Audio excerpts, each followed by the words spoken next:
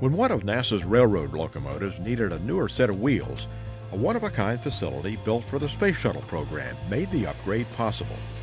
Kennedy Space Center's Rotation Processing and Surge Facility, or RPSF, was built in 1984 to handle the shuttle's massive solid rocket motor segments, which came in by rail. That's essentially how it worked for 30 years. Um, this facility has never lifted or done anything other than shuttle segments and shuttle uh, part.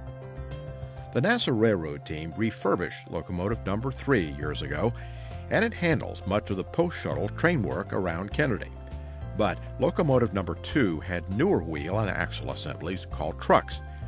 Railroad officials decided it would be best to swap trucks between those two locomotives. We want to use the best equipment and the most environmentally friendly equipment as we, we can on the uh, locomotives that we are going to be actually using. Each of NASA's three locomotives weigh more than 79 tons, not counting the trucks, which add another 44 tons.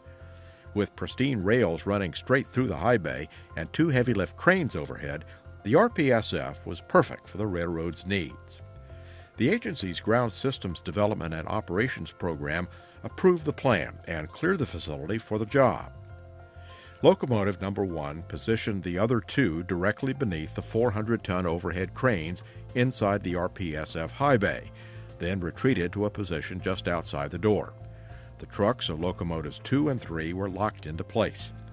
The closely choreographed lift operation took place the following day the bodies of locomotives 2 and 3 lifted one at a time and placed on opposite trucks.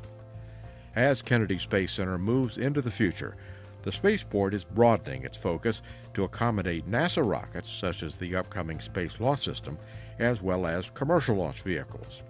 Use of the RPSF to assist the NASA Railroad demonstrates the adaptability of the center's unique facilities and workforce.